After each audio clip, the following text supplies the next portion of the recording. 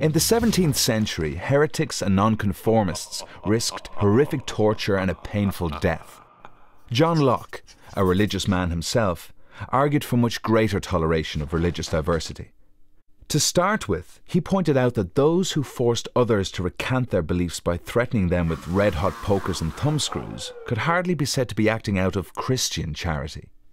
Also, if these persecutors really wanted to save souls, they ought to focus on sinners, not on people quibbling over the interpretation of scriptures. But he had a better argument than these. Using force to change beliefs is irrational. That's because no threat can persuade anyone to believe something that they think is false. They might say they believe in your God to save themselves from torture or being burnt at the stake, but you won't change their actual beliefs that way. We can't just choose what we believe as a matter of convenience. So, if the point of your threats is to achieve a genuine religious conversion, it just won't work. That was the basis of his case for religious toleration.